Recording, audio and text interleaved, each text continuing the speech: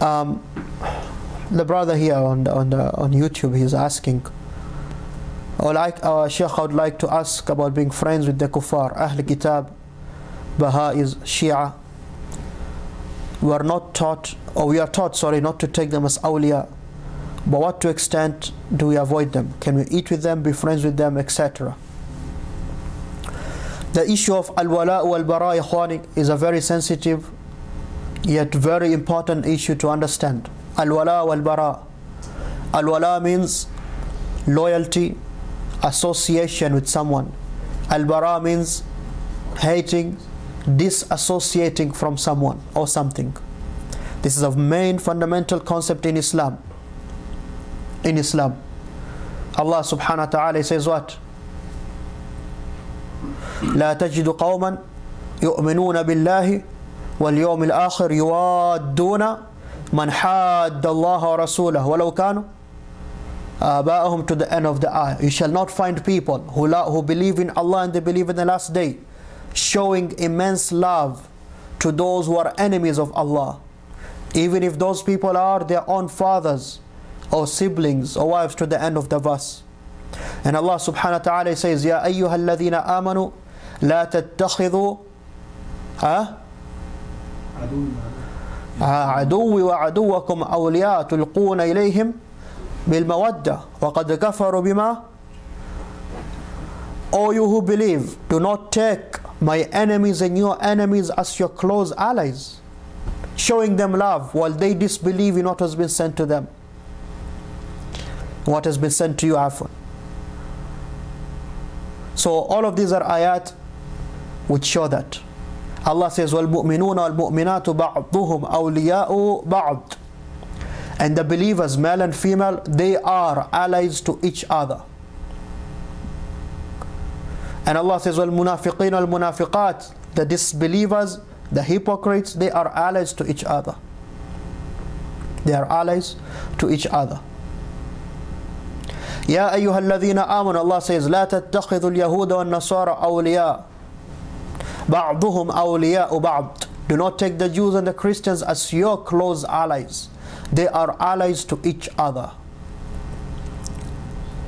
Now this matter is very important. Al-wala al-bara ikhwani because some people they have taken it to extreme extreme saying you see what these ayat they say so immediately they see someone who's not a muslim they um, shrink their faces show anger they're chanting kill the kuffar thinking that this is al-wala al-bara, meaning al-wala al-bara, al-bara, disassociating yourself means kill all those who are not Muslim. That is not Islam. And Allah subhanahu wa ta'ala never said that. And the Prophet sallallahu alaihi wasallam never said that. And his seerah and his way, his sunnah is completely opposite of that. And a good example to clarify that, Allah subhanahu wa ta'ala, He said to the believing man that they are allowed to marry from the Christian and the Jewish chaste lady. Chaste means they're not they're not fornicators. You know, a woman who's a good woman, if she's Jewish or Christian, you can get married to her. Right? Get married to her what, so that you can kill her? No. You understand? And you know that between husband and wife there's love, right or wrong? So there's love which is what? Natural love. Husband, wife love. But at the same time, you dislike your wife and you disassociate yourself from her and her kufr which she does. You understand? Yes.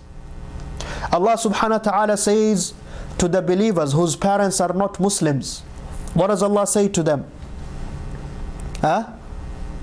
وإن جاهداك على أن تشرك بما ليس لك به علم فلا تطعهما وصاحبهما في الدنيا معروفا if they, your two parents, listen to this, they fight jahadaka, they put so much effort to turn you into kufr, to take you out of Islam.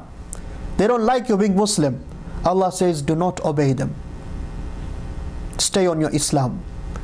But وَصَاحِبْهُمَا فِي الدُّنْيَا مَعْرُوفًا In the life of this world, taking care of them, serving them, loving them as your parents, do that, do good to them. You understand now? If you can understand this balance, you'll understand the balanced approach and the balanced aqidah of al-wala wal-bara.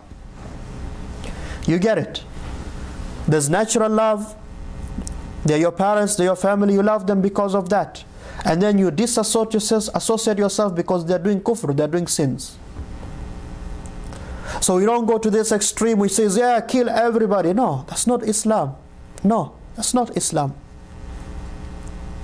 And on the opposite, those who say, oh, we are all one. There should be nothing like disassociating yourself and hating kufr and that. No, no, no. That is not true. Allah says, do not take my enemies and your enemies as friends. Allah called them his enemies. Allah says, those who disbelieve, they're cursed. So you deal with them in what Allah has told you to deal with them, and you disassociate yourself from what Allah has told you to disassociate yourself from with them. And you can never understand that unless you study the seerah, the sunnah of the Prophet ﷺ. That is why the best way, ikhwani, is the way of the Prophet ﷺ, the way of the Salafus Salih. How did the Prophet ﷺ and the Sahaba practice these ayat? Why do some of us, we come about today after 16, 15 centuries and we think we are better in understanding the, uh, the Sunnah and Islam than them? How? These verses were revealed to them. And they lived within people who are non-Muslims, Jews, Christians, idol worshippers. How did they deal with them? The Prophet ﷺ, until the moment he died, his, his body armor, the body armor you wear when they went to fight, it was pawned uh, to the Jewish trader because he had taken food and he told them, I'll pay you. Take this as a, as a, as a uh, what, you, what you call sometimes safety, uh, uh, uh sorry, security deposit. deposit, pawn. That's what you call it. He had put his body armor, which is worth so much money, to buy food from the Jewish man. You understand? And that is the understanding of al-wala al-bara. It doesn't mean we disassociate everything. There's nothing. No. This is business. Worldly business. I need food, he's selling food. Okay, fine. You understand?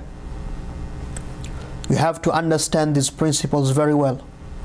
The Prophet ﷺ, there's non-Muslims, he had treaties with them, peace treaties, peace covenants. Between us and you, there's peace. You pay us jizya, tax, that's it. Right or wrong, so many of them. So, Juan, we should not understand al-wala al-bara to be complete enmity and udwan, passing the limits, violence, no. And also we should not understand the other which they want today. Those people want to water down Islam. That no, we are all one. La. How can be the one who submits to Allah be like the one who has disbelieved in Allah? If you can learn that balance, Allah subhanahu wa ta'ala has saved you. That is why you always ask Allah to make us balanced. Naam.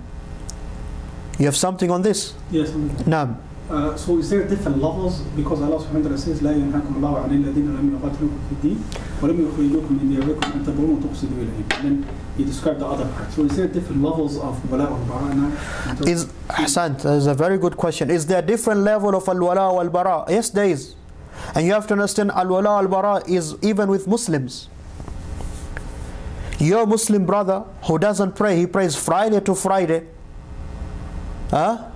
You hate his action and you hate him for that. And you don't show him the same love with your brother who prays with you every single day. Am I right or wrong? You think they're same in front of Allah? Those who pray every day and the one who shows up on Friday only in the masjid, he doesn't pray. Are they same? No, they're not same. You understand? So this one you have more love for him than this one. You still love him because he's a Muslim, but you love this one more because he's a good Muslim. And you hate and dislike this person because of him and his action which he does which is sinful. Tayyib, you get it? Even the non-Muslims. Allah subhanahu wa ta'ala says, you'll find that some of them, they have no problem with you. They have no problem with you. They don't want to fight you. They want peace with you. Those ones, You don't deal with them the same way like those others who show you enmity and they want to wipe all of you out of the face of the earth. That is kafir muharib, that is someone who is fighting you. And this is someone who is no who has no problem to you. This is a Ikhwani, we can even say is just logic, right or wrong. This is logic. You understand? Naam. I a question. Uh, is is it permissible to uh, help financially the family members are not Muslims? Is it allowed to help family members financially who are not Muslim? Allah subhanahu wa ta'ala says in that verse,